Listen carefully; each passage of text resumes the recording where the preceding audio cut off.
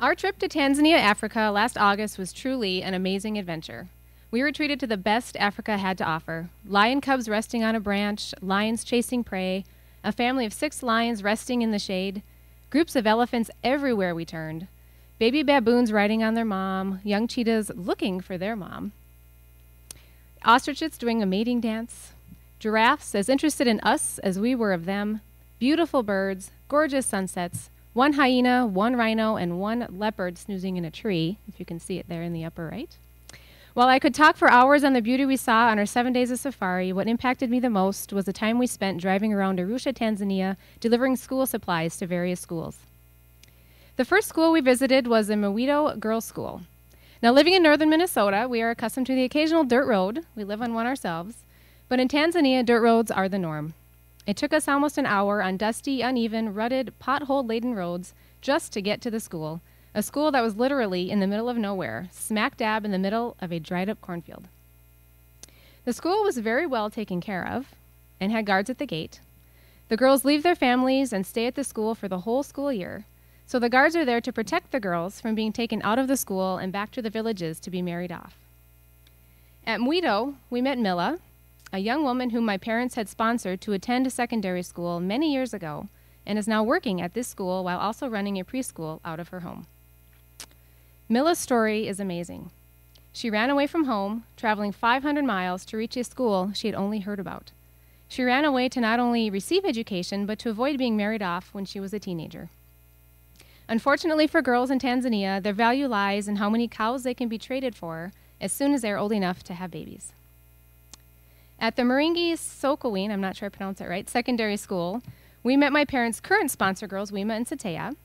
We enjoyed meeting the girls, and my girls had fun showing off photos of life in the U.S., pictures of snow, the lake, snowmobiling, softball, dance, friends, the typical American teenage life, which must have been as foreign to these girls we met as shaved heads and wearing skirts are to my girls. The school with the biggest impact on me was a government sponsored primary school for boys and girls in a remote village. We were lear- they were learning English, past, present, future tense, just like our kids learn here, only they were sitting three to a desk with a desktop about as deep as a book and memorizing everything since they had no paper or pencils. We presented two suitcases full of paper, pencils, and a few soccer balls.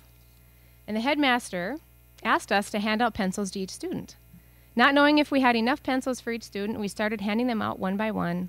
But just like the loaves of bread and fish, God made sure we had the exact amount of pencils to give, one to each of the 120 students in that classroom, not one extra pencil.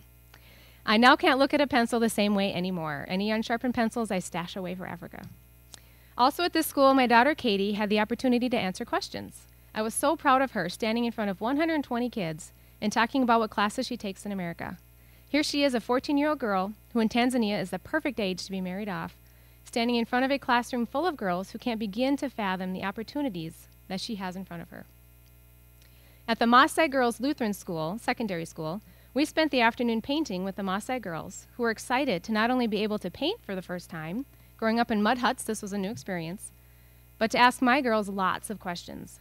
I would look over and see each of my girls surrounded by five or six of the Maasai girls who were peppering them with questions. I heard Katie trying to explain what softball is, Becca talking about ballet, but politely turning down an offer to show them some of her ballet moves. The Maasai girls enjoyed taking pictures with our digital camera and looking at the images on the screen, and both girls had to explain what the metal was on their teeth. It dawned on me that braces, while an ingrained part of the American teenage life, must look rather goofy to these girls. In a land where the average person earns just $1.25 a day, it's no wonder that this was our first glimpse at braces. We were able to visit two bomas. A boma is a mini village for each family unit, one husband with multiple wives, each wife with her own hut. The picture.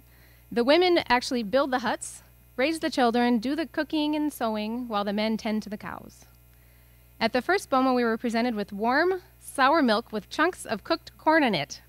A treat for them, but not quite for us. We did take a few sips.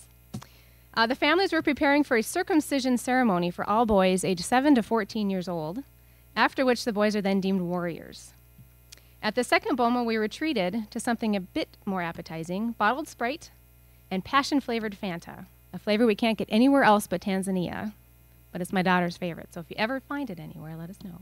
And freshly cooked goat meat that uh, we watched being cooked over the open fire in the middle of the mud hut. You can kind of see it there. After meeting Mila, Wima, Satea, and the many girls at the Maasai school and seeing the women at the Bomas, it is so hard for me to comprehend what a 14 year old Maasai girl's life is like compared to my 14 year old daughter. I look at my girls and see unlimited possibilities. They can strive to follow their dreams in any field they want, yet a 14 year old girl in Tanzania must look to her future and see only babies and a very hard life if she doesn't have the opportunity for education. Along the side of the road, we stopped to purchase homemade baskets and beaded bracelets. Once we pulled up, a few women and multiple children came out of their huts to sell us their baskets and bracelets. This is how these women support their children, spending all day making baskets to sell for $10 each, hoping tourists stop to support them. All around Arusha were images of women selling fruit, corn on the cob, sugar cane along the side of dirt roads, or kids transporting bunches of bananas or reeds or whatever on their bikes. There's no grocery stores, no child labor laws, but this is just their way of life. I thought about how great it would be to fly any of the Maasai girls we met to Minnesota to show them what life is like in America. But the more I thought about it, the more I realized I would probably feel embarrassed by all the comparative wealth and good fortune that we have here and how that might affect them. We don't think twice about watering our grass all day long so it's a brighter shade of green, or about dumping out half used water bottles just because the water is a little old, and we don't think twice about taking long, hot showers on stressful days. We have computers in every classroom, shelves full of books, clean, sanitary schools with an educational system that may not be perfect, but is available and accessible to all. I now look around my house and see lots of stuff, most of which is not at all necessary, but sure does make my life more comfortable and enjoyable. But while this trip did not change my everyday life, it did open my eyes to how truly lucky I am. I am surrounded by great comfort, way more than I need, I am also now filled with gratefulness that our life here in America allows my children to grow up in a society that values and invests in education for boys and girls, and that their future is full of hope and possibilities.